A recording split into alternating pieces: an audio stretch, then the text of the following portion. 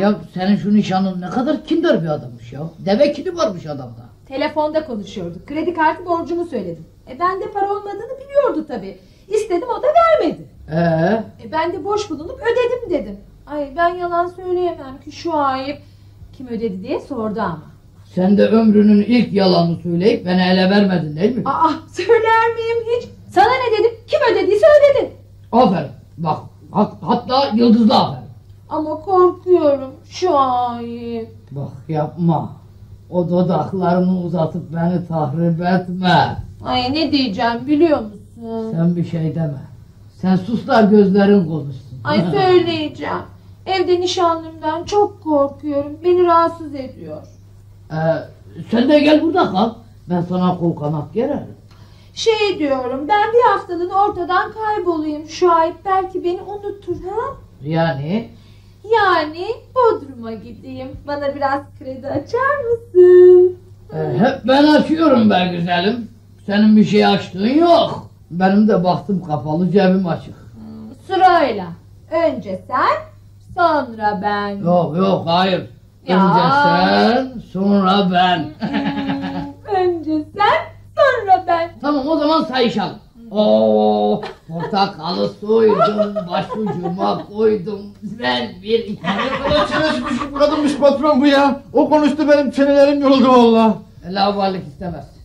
Ee, şimdi diyorum ki bu kredi konusunu biz e, üçüncü tekli şahısların yanında konuşacağımız şöyle aşağıda inelim. Bunu hem enine hem de şöyle boyuna bir konuşalım. Olmaz şu ayıp. Olur. Nilgüncüğüm olur. Biz aşağıdayız. Sonra ne olursa? Ee, toplantıda dersin. Şimdi Bodrum'u, tatilini, neyi bırak unut gitsin hayatım. E, bunları düşünürsek strese gireriz. Stresi stres gitsin canım. Ay sen beni ciddiye almıyorsun şu ayıp. Aa, ben ciddiyetsiz bir adam mıyım ki bana bu tür sözler sarf ediyorsun? Hem seni hem ilişkimizi ciddi ciddi ciddiye alıyorum hayatım.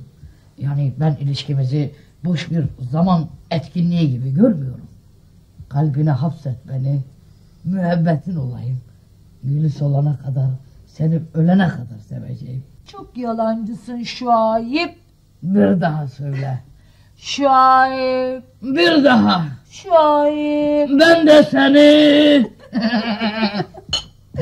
ha. Eğer yalanım varsa na şu iki görme organım önüme aksın. Yani gözlerine baktığımda eriyorum. Aşkından bir deri bir güderi kaldım.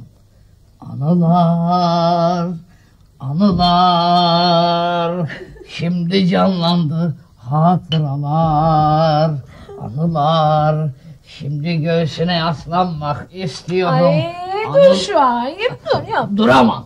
Sen de durma. Durmayalım. Öcüm Ya. geliyor. Ay dur yapma şu Günüm ayıp. de yiyor. Yakaladım. Hayırlı işler efendim. Sağ olun. Sağ olun iyi günler.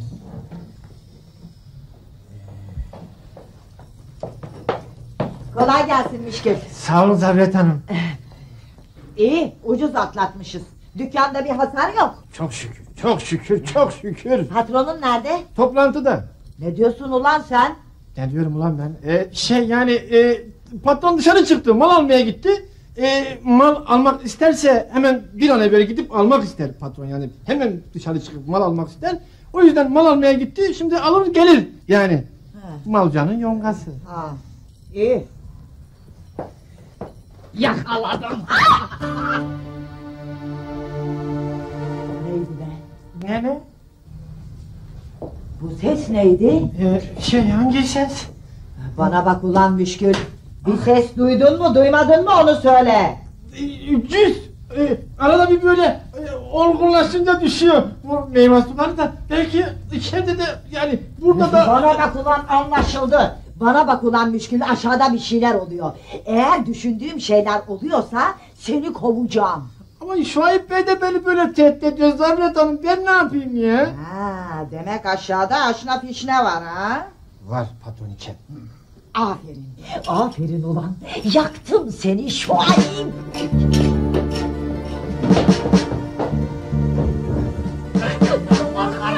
Şuayb! Ah!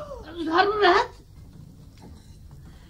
Toplantınızı bölmüyorum ya. Aa, ne toplantısı? Ne oluyor lan burada? Ee, bak şimdi anlatayım karıcığım. Şimdi ben bu karıyı tanımam etmem. Ulan madem tanımıyorsun buraya niye indirdin?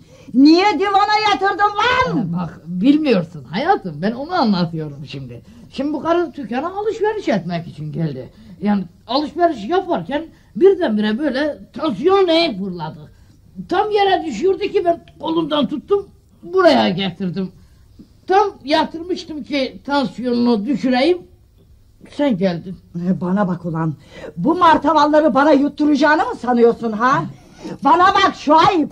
Beni dinlemeyen kulaklarını çekerim ben senin. Lan gözlerini ayarım.